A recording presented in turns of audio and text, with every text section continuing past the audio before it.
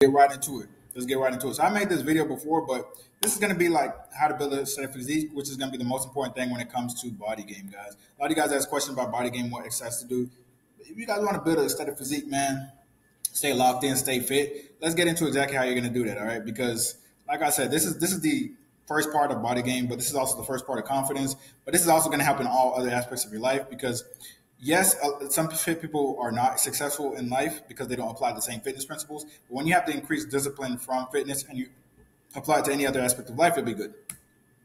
All right. So, what is an aesthetic physique? You can have a V taper. You feel me? This is uh, David JB Fit, and this is Alex Eubank. Brian Lopez, Austin Dunham, they all have aesthetic physique V tapers.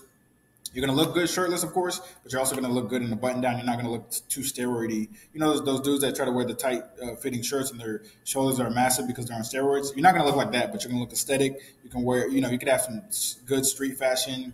You know, you can look good in a tank top. You look good shirtless. Like you just rock everything you wear. Because for me personally, like ever since I, I got aesthetic, I absolutely wear the cheapest shit, and everyone's always like, "Oh shit, I didn't know you can wear Armani." I'm like, no, it's just the way it fits me. It's really just you know not even Gucci, it's Lucci, bro. You feel me? Like it's it's some fake ass Walmart shit, bro. I'm wearing faded glory, and you're wearing Ball Balmains, but you think I'm wearing Ball Balmains, and I think you're wearing faded glory because of how it fits. You see what I'm saying? But yeah, shout out to faded glory, man.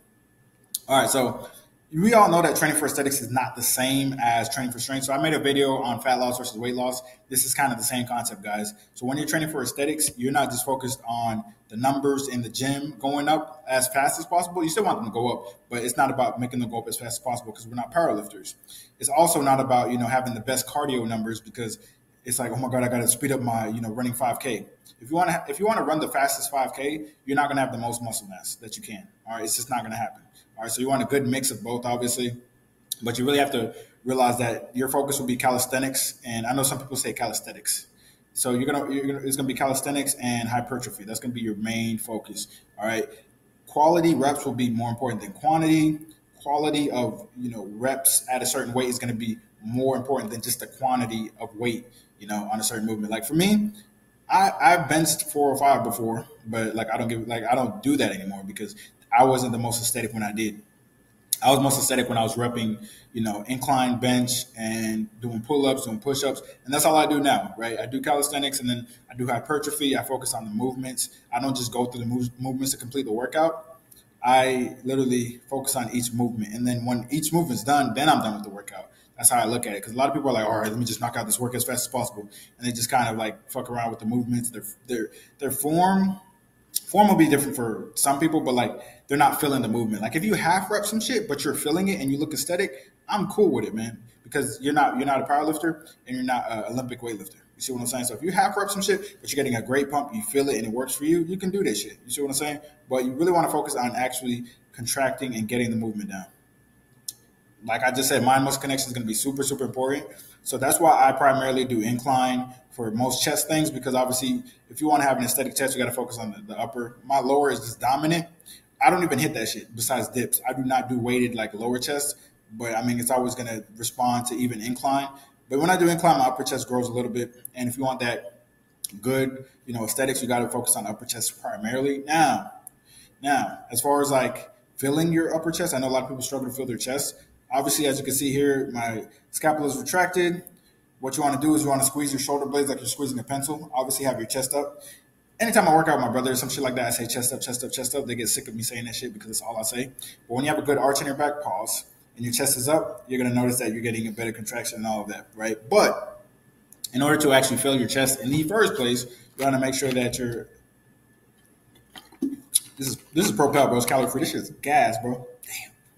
But you want to make sure that you pre-exhaust your chest first. You can do pec deck, push-ups, cable flies, you know, just something to get some blood in the chest. Now, if you don't have that option and you just want to go straight to incline barbell, do some push-ups first.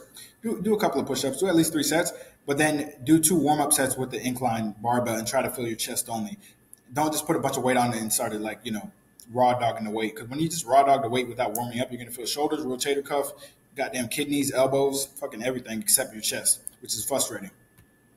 All right, so like I just said, pre-exhausting. So for specifically when you do like back movements as well, when you're doing back movements, you want to make sure that you do pull-ups first, or at least if you're gonna do lat pull downs, at least warm up with lat pull downs so you can feel your lats instead of just pulling everything with your biceps and your traps. I see a lot of people pull with just their bicep or yeah, yeah, and they're just not getting a back pump and their back doesn't grow. And they're like, why isn't my back growing? Because you're pulling with your biceps. Same for quads.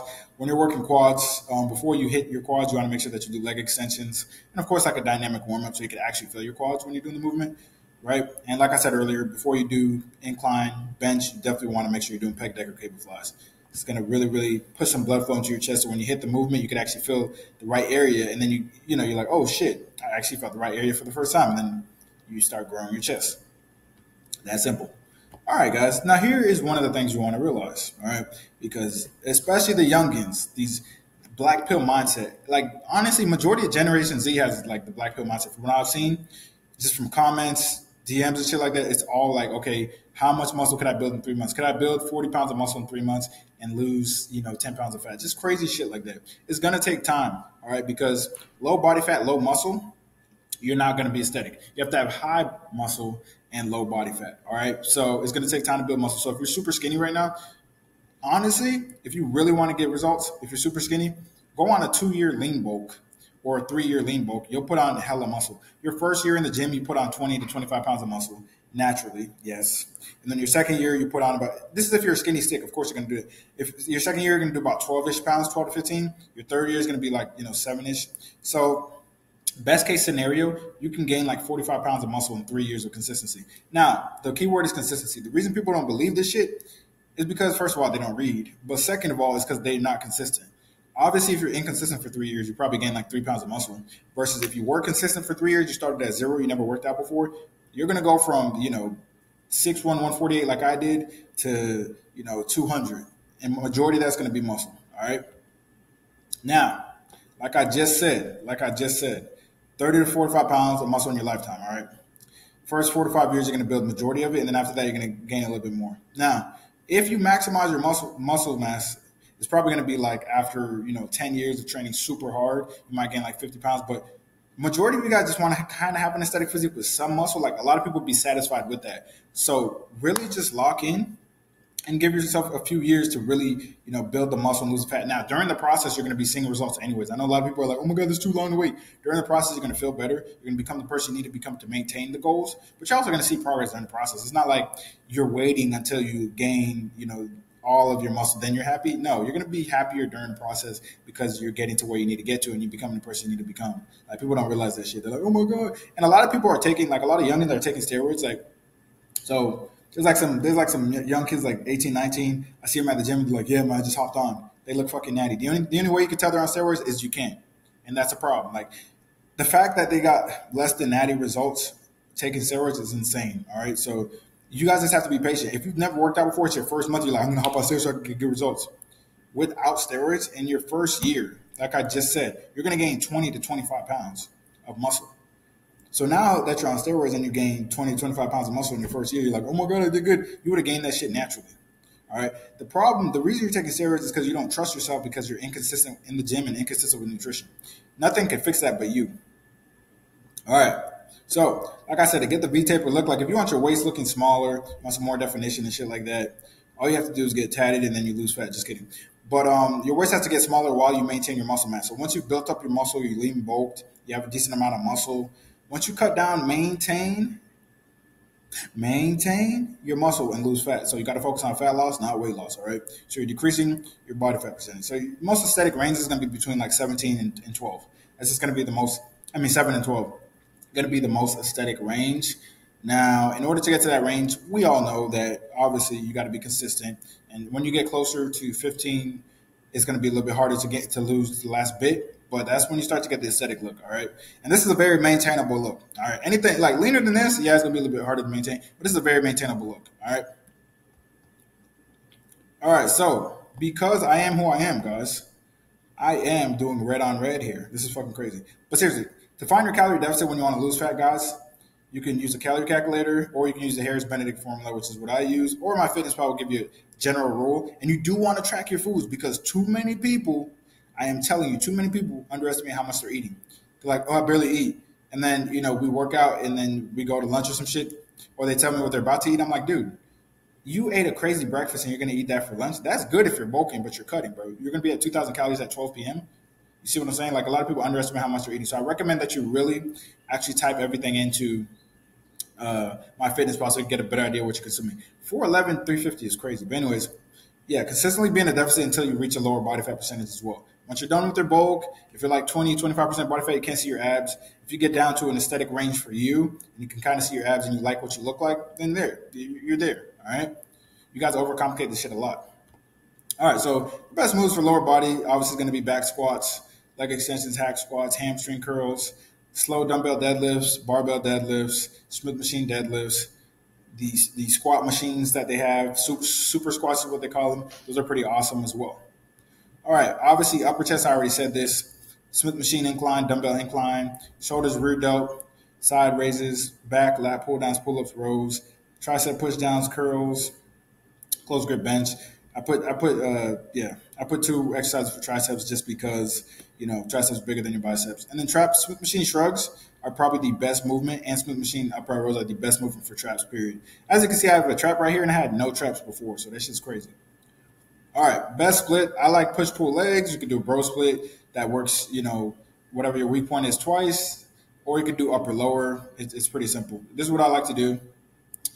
And to this day, all right, so so yeah, in, in, full honesty, to this day, I've been I've been doing this shit, but I always skip the weighted crunches and hang leg raises. Someone's gonna have to help me actually do those fucking movements. I, I fucking hate abs.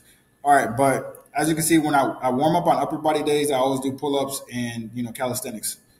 Like I said, some people call it calisthenics but I, I always warm up with calisthenics before my work workouts.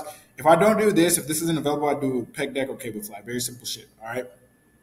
Now, consistency is key, man. You can go from this motherfucker to this motherfucker. All right. Everyone can do. Everyone can do at least this. All right. Like I know. I know. There's there's people that you know they didn't start off this cooked, so they could probably get further than you know this uncooked. But yeah, like if you really put in the work, you, you can do whatever you want to. When I was here, like people, I just got cooked every single day. I got cooked every day. People were like, "You have the worst genetics. You're skinny as shit. You're a loser." This is like every single day, and it was just it was what it was. That's how they, that's what they knew me as. Fast forward ten years later, those same people are asking me for advice and like, "Oh, you got great genetics. How do you go from bad genetics to good genetics?" You're just trying to downplay the work, man. It does take work. A lot of people be like, "You got BBC genetics." no traps to traps, no shoulders to, to shoulders, no chest to chest like I put the work in, guys. It, it just is what it is. A lot of people don't know what's don't realize what's possible because they quit before they start. And that's the black pill mindset. That's the issue with a lot of the people these days. They quit before they start, not knowing that if they started, they can get some crazy results. Like you can. Because what happens in the fitness journey that people don't realize is like you work out day in and day out.